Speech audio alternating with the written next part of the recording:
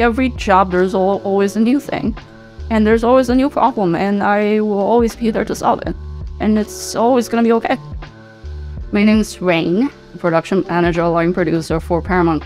Uh, I graduated as a director started with PA and I got really lucky to get under the mentorship of this line producer. Through that particular journey, I kind of learned how to problem solve as a production person and then like how to navigate through different departments. I got a interview with Paramount. The first project they eventually offered me was RuPaul Drag Race season 14 program.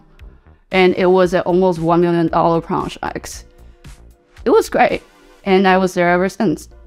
Producing is a very artistic kind of mathematical problem. Like a good one can shape the creative and then understand the amount of financial logistic to actually make a good good piece of content.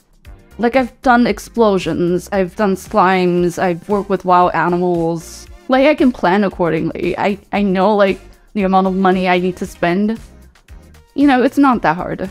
A good producer is kind of like a good conductor, essentially.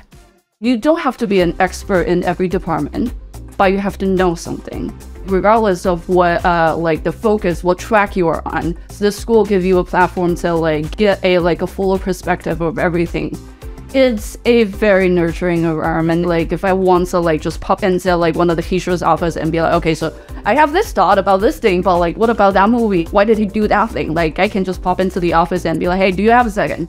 It's a school where teachers are working with working knowledges. I'm still in touch with a lot of the, the teacher at school to kind of just talk about all the things that's going on with me.